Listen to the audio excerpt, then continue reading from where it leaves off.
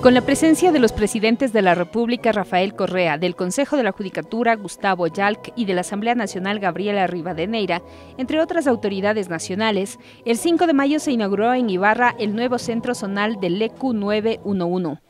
La moderna infraestructura tiene más de 2.000 metros cuadrados de construcción y tecnología de punta, que permitirá atender a cerca de 500.000 habitantes de Imbabura, Esmeraldas, Carchi y Sucumbíos. Las autoridades constataron el trabajo que se realiza desde el centro de operaciones, donde se controlan las 80 cámaras de seguridad que fueron colocadas en la provincia de Los Lagos.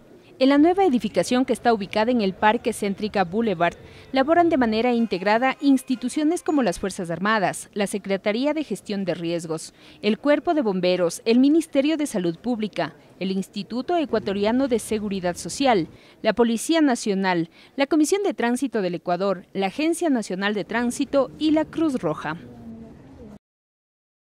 Consejo de la Judicatura. Hacemos de la justicia una práctica diaria.